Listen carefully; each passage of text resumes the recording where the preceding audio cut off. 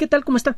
Los saludamos María de Los Ángeles Aranda y Enrique Ganem y en esta ocasión vamos a hablar algo de física básica, de uno de los temas más fuertes del mundo de la física que tiene que ver con el origen de la materia.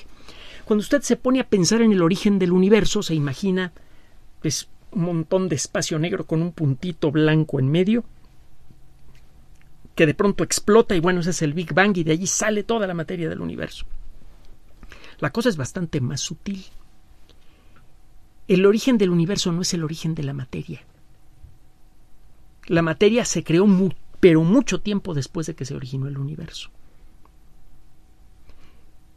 Verá usted, si usted se pone a estudiar física encontrará que la mejor unidad de medida de tiempo que puede utilizar para estudiar fenómenos físicos a nivel microscópico no es el segundo, ese segundo que usted y yo conocemos.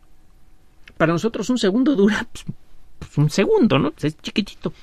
Pero desde el punto de vista de los fenómenos que ocurren, por ejemplo, en el interior del núcleo de un átomo, un segundo es vastísimo. Existe otra unidad de tiempo, el segundo de Planck, es un nombre informal para referirse a lo que también se conoce como el tiempo de Planck, que es inmensamente pequeño. En un segundo normal cabe un 1 con 42 ceros de segundos de Planck.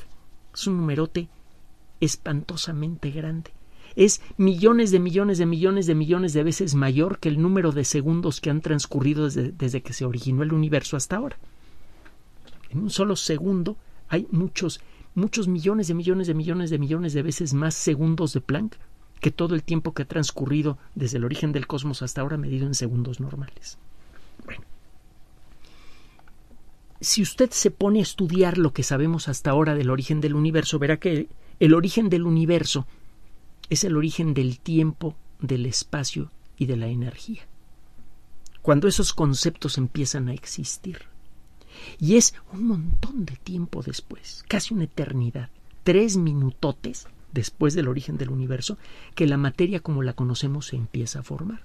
Tres minutos para usted y para mí es muy poquito haga la cuenta cuántos segundos de Planck transcurrieron desde el origen del universo hasta el origen de la materia.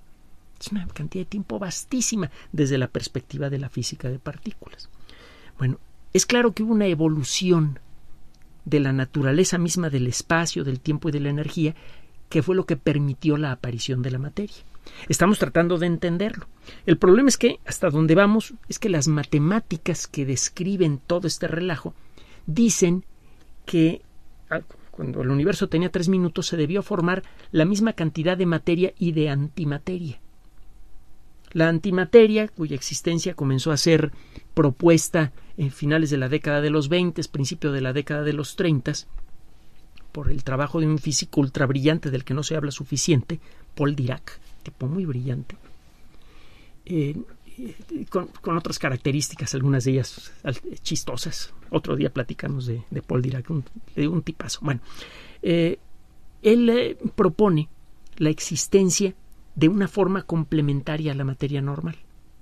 Para cada tipo de partícula fundamental, protón, neutrón, electrón, él con matemáticas dice debería existir otra partícula igualita del mismo tamaño con la misma intensidad de carga eléctrica, solo que su carga eléctrica debería ser opuesta.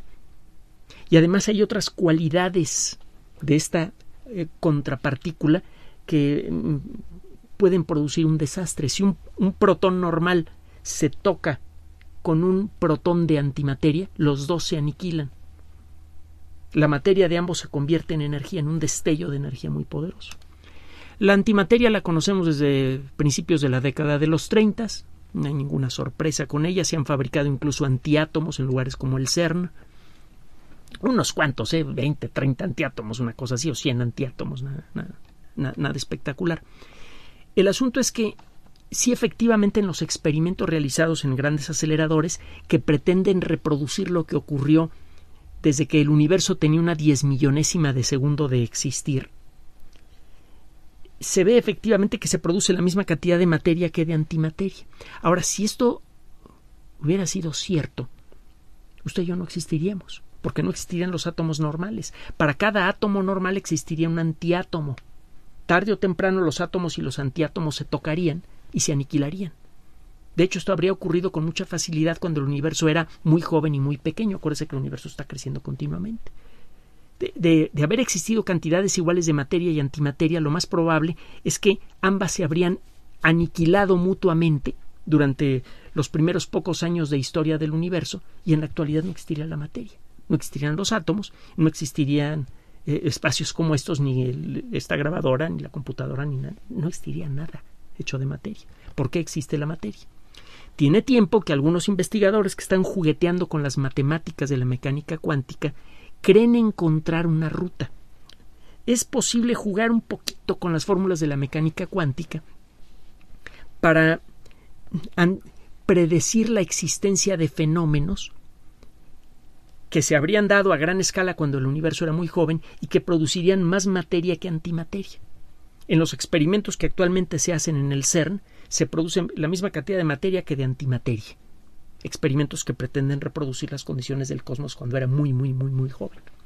Pero estas personas dicen, bueno, es que bastaría con una diferencia muy pequeña eh, que se produjera un poquitito más de materia que de antimateria.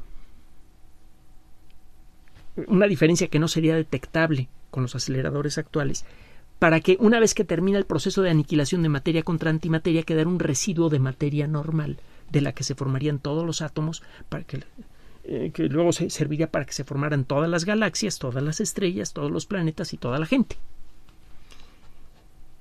Esto pues, hasta hace poco era pura teoría, pero últimamente ha habido varios resultados que sugieren que estos investigadores están en lo correcto.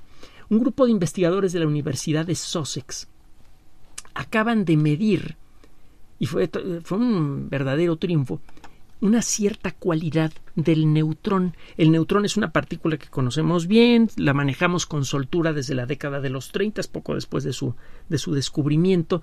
Eh, se maneja neutrones en la industria nuclear para crear nuevos elementos químicos sintéticos. Eh, incluso se utilizan chorros de neutrones para hacer estudios, vaya hasta de arqueología. Con neutrones usted puede penetrar rocas muy gruesas como las de las pirámides y tratar de distinguir cosas que puedan existir en su interior. Por ejemplo, alguna cámara secreta en el interior de la pirámide de Khufu. Algún día platicamos de este tipo de rollos que también están muy sabrosos. Bueno, regresando al tema.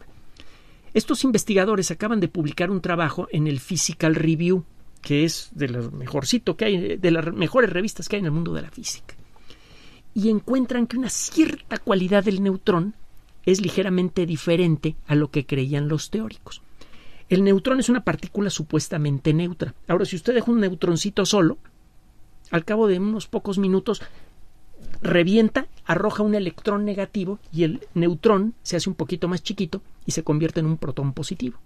Es lo que llamamos neutrón, en realidad tiene en su interior una carga eléctrica positiva y una carga eléctrica negativa que normalmente no vemos.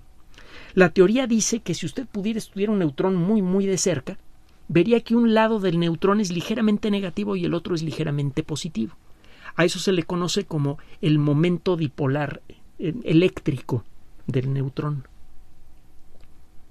Si el momento dipolar eléctrico fuera cero, el neutrón sería igualmente neutro, no importa por dónde lo vea. Si existe un pequeño momento dipolar eléctrico, usted vería que en algún punto el neutrón se ve ligeramente negativo y en el otro lado se ve ligeramente positivo. Bueno, esto es lo que encontraron estos investigadores. El COMOPS es un rollo, que se pusieron a trabajar estudiando un montón de mediciones que se han hecho en algunos de los aparatos que hay en el CERN, y después de explorar con la ayuda de grandes computadoras este mar gigantesco de datos llegan a esta conclusión. El tema es sabrosísimo, un día, otro día se lo platico. El punto es que si estas personas están en lo correcto, sería necesario hacer pequeñas correcciones a las fórmulas que describen al neutrón y esas fórmulas son las mismas que describen la forma en la que evolucionó la materia durante los, las primeras fracciones de segundo después del Big Bang. Si los datos que están dando estas personas son confirmados por otros investigadores, esos datos sirven para corregir un poquitito las fórmulas que describen cómo se creó la materia y la antimateria poco después del origen del universo. Y con, los, con las fórmulas con esa corrección resulta que sí podemos entender por qué existe la materia normal.